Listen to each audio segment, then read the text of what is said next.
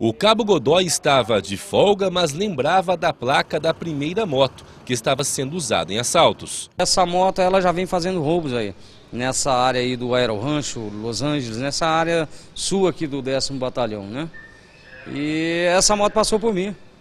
Passou por mim eu resolvi abordá-la. Depois que os dois menores foram apreendidos na Avenida Guaicurus, próximo da entrada do bairro Dom Antônio Barbosa, os policiais encontraram no tanque da moto um galão de combustível e levantou uma suspeita de que poderia haver um outro veículo furtado que seria abastecido posteriormente. Tinha um galão de, com gasolina dentro da moto, né, no, no embaixo do banco.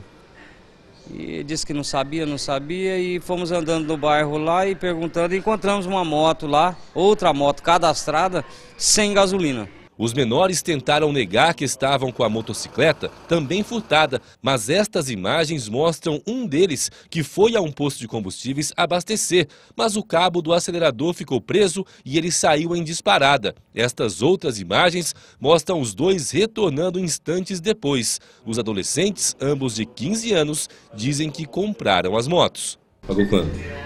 Ah, eu paguei 100, né? Pagamos 100 na primeira, mas 100 na outra, senhor. Mas você arrumou dinheiro para comprar? Ah, senhor, eu arrumo isso, senhor. Há indícios de que eles estejam sendo aliciados por um homem, que já está identificado. Os dois estão fazendo uso dessa motocicleta aí para fazer roubo ou furto. Lógico que induzido aí por um maior, né? Que a gente já sabe quem que é, entendeu?